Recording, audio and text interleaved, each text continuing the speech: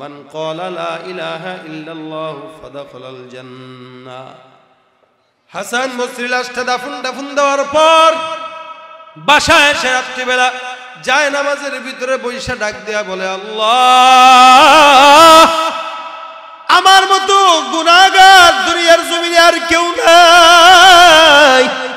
হ্যাঁ রব্বুল আলামিন, তোমার হাবিবে কিবরিয়ার কথা অনুযায়ী আমি তো তাকে একটা সার্টিফিকেট দিলাম। যদি ওই সার্টিফিকেট দেওয়াটা আমার উচিত হয় নাই, কিন্তু তোমার হাবিবের কথা কিন্তু সত্য। পয়গম্বর বলেন, কেউ যদি ইমানের সঙ্গে কালেমা পাঠ করে, সে কোথায় যাবে? জোরে বলেন জোরে বলেন। জান্নাতে ঢুকে যাবে। তোমার হাবিবের কথা অনুযায়ী আমি তো কালেমাটা তাকে পাঠ করাইলাম। আর তোমার হাবিবের কথার উপরে সত্যতাও যাচাই করে সত্যতা আমি। দিয়ে তারপরে কাগজের ভেতরে লিখে দিলাম, তুমি জান্নাতি নিশ্চিত যদি কালামা পাঠ করো। এ রব্বুল আলামিন, আমার ইজ্জত তো যেমন তেমন তোমার হাবিবের ইজ্জত তো অনেক বেশি। আমি হাসান বস্রি বলতে পারি, আমার কথাও যদি রাখো আর না রাখো কোনো আপত্তি নাই। কিন্তু তোমার হাবিব কিবরিয়ার কথা যদি সত্য হয়, তার কথা অনুযায়ী এই মাজুসিটাকে তুমি আল্লাহ জান্নাত দিয়া দিও। আমার কাজ আমি তাকে করাই দিলাম, আল্লাহ। আমার এরপরে আর কোনো কাজ নাই। রব্বুল আলমিনের কাছে দোয়া করে হাসান মসজিদ রাত্রেবেলা ঘুমায়। গভীর রাত্রে ঘুমের ভিতরে স্বপ্ন দেখে। ওই মাজুসিটা সুন্দর করে আল্লাহর জান্নাতের ভিতরে ঘুরে বেড়াইতেছে। বন্দগানে খাস গয়ুব। দরজাহা জানে জওয়াসিসুল কুলুব জমসর শুব পিরাহন শনিদি চরাদর চাহে কনানশ নদী দে। তুমি পার করতে মচন অভাব দুঃখী লোকের।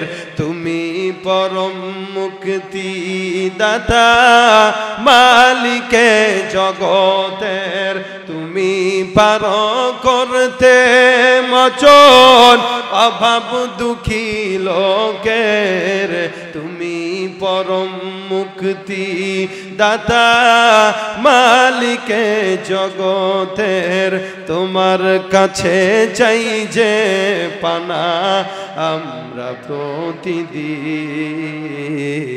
তোমার দয়ায় পূর্ণ আমার সারালি সিদিন দয়াকার আমার এখন অযথা শুধু শুধু বিরক্ত করা যাবে না। আমি সাড়ে ছয়টায়, আমি এই জায়গায় আসছি কিন্তু আপনাদের দাওয়াতে না। আমি এই জায়গায় আসি, গত বছর আসছি এবছর আসছি। একমাত্র রাসেল ভাই এবং আপনাদের এলাকার কবির। এই দুইজনের মহাব্বতে ইনাদের দাওয়াতে দেখা করতে আসি। প্রোগ্রাম ওইটা এক বছর আগে রাখা, সাড়ে নয়টায় টাইম দেওয়া। আমি আসছি সাড়ে ছয়টায় ছয়টায়। তখন দিলে দুই ঘণ্টা আলোচনা করতে পারতাম। দেন নাই, দোষ আপনাদের। এখন আমার খেলাঠেলি করলে হবে না, আমি সাড়ে নয়টা ছেড়ে দেবো। প্রোগ্রাম যেটা আগে রাখা, ওইটার হক বেশি। আপনারা কি বলেন, ঠিক না? দোষ কি আমার? লেখা কি, বাদ মাগরিব না? তা বাদ মাগরিব মানে দেয় নাই কেন? এসার পরে বসছি, এটাই বেশি। তা উনাদের চেহারার দিকে। আমি এখানে অন্য কমিটিকে চিনি না, আমি চিনি রাসেল ভাইকে, কবির ভাইকে। ইনাদের মহাব্বতে আসি। ওয়াজ করতে আসি না, জাস্ট মহাব্বতে সাক্ষাৎ করতে আসি। এতটুকুই বলতেছি, শুক্রিয়া করে। আমার ওখানে যাওয়া লাগবে না, লক্ষ্মীপুরে যাইতে এক ঘন্টায় পারব আমি, কি মনে হয়? তাহলে রাস্তাঘাটের ব্যাপার না।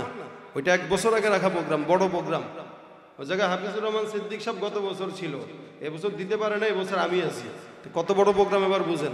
তো ওখানে যদি দশ মিনিট এদিক সেদিক হয়, তার মানে ঝামেলা। এই কারণে সময় মতো দিলে ঝামেলাটা হইতো না। আমাদের, আমার বয়ানের শেষে সাথে সাথে আবু রাহানরা আসবে। ইনশাল্লাহ সংগীত চলবে। সামনে থেকে যখন যেই টাইম সেই টাইমে দিবেন, কোনো আপত্তি নাই। আমি এই জায়গায় কোনো কথা বল- বলব না। এখানে যেভাবে দিবেন, সেভাবেই শুনব, কারণ ইনারা আমাদের কাছের মানুষ। কাছের মানুষের কাছে আবদারও চলে না, আবার ঝামেলাও চলে না। কিন্তু যেহেতু আজকে এসার পরে বসাইছে, বসছি এটাই বেশি। আমি বসতাম না, আমি ভাবছিলাম চলে যাব, কিন্তু জোর করে আমারে বসাইছে। আমি বলছি সাড়ে আটটা পর্যন্ত করব, কারণ ওখানে হক বেশি। সমস্যা নাই, আপনারা থাকবেন না ইনশাল্লাহ এখানে আমাদের আউলাদের রসুল, উনি প্রত্যেক বছর থাকে, ইনি তো আছে। এরপরে আমাদের শিল্পীরা আসছে। আলহামদুলিল্লাহ, আপনাদেরকে যথেষ্ট পরিমাণে খোরাক দেবে, ইনশাআল্লাহ।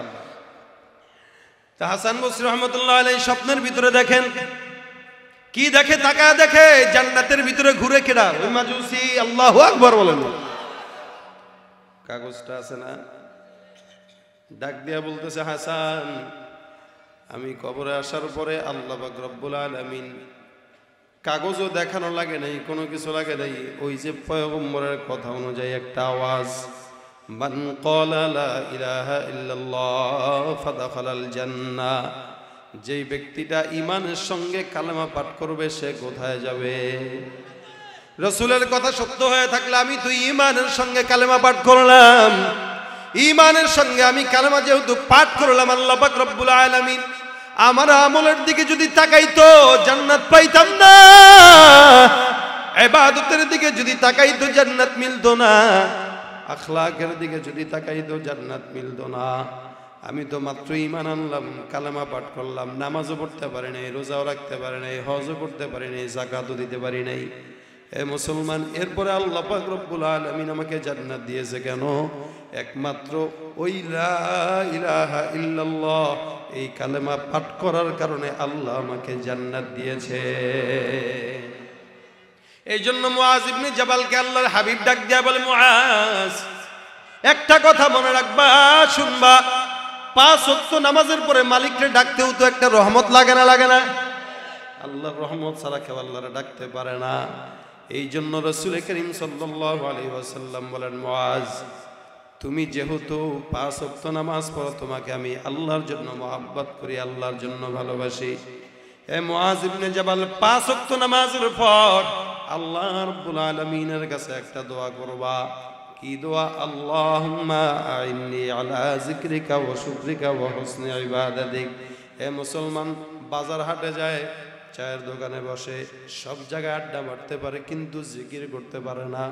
কেন পারে না? বলে, আল্লাহর রহমত নাই। সুতরাং আল্লাহর কাছে রহমত চাও। এ আল্লাহ, তুমি তোমার নাম নেওয়ার মতো যোগ্য আমারে বানায় দাও। তুমি তোমার ইবাদত করার মতো যোগ্য আমারে বানায় দাও। তুমি তোমার জিকির করার মতো যোগ্য আমারে বানায় দাও। আল্লাহর কাছে কোনো বান্দা যদি পাঁচবার নামাজের পরে চায় আল্লাহর কাছে কোনো বান্দা যদি পাঁচ অক্ত নামাজের পরে চায় ডাক দেয়া বলে, আল্লাহ, তুমি তোমার জিকির থেকে গাফেল রাখো না, তুমি তোমার শক্রিয়া থেকে গাফেল রাখো না। তুমি তোমাকে ডাকার থেকে আমাকে গাফেল রাখো না।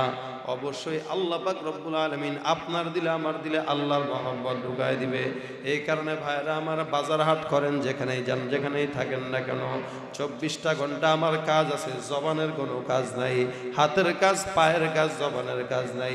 জবানের কাজ থাকবে একটা, কার জিকির? জোরে বলেন, কার জিকির? জবানের কাজ থাকবে, সুবহানাল্লাহি ওয়া বিহামদিহি, সুবহানাল্লাহিল আযীম, সুবহানাল্লাহি ওয়া বিহামদিহি, সুবহানাল্লাহিল আযীম।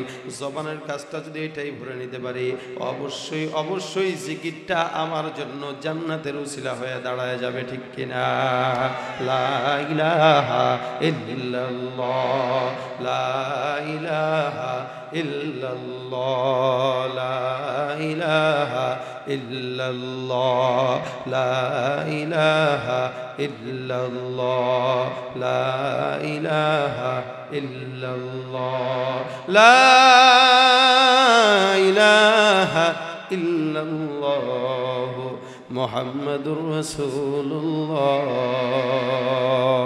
আল্লাহ আমাদের সকলের দিলকে আল্লাহর জিকিরওয়ালা দিল বানায় দেখ না আমিন। আরও জোরে না আমিন। এই প্রত্যেক বছর এই প্রোগ্রামটা চোদ্দতম বার্ষিক মাহফিল আজকে। আল্লাহ পাক যেন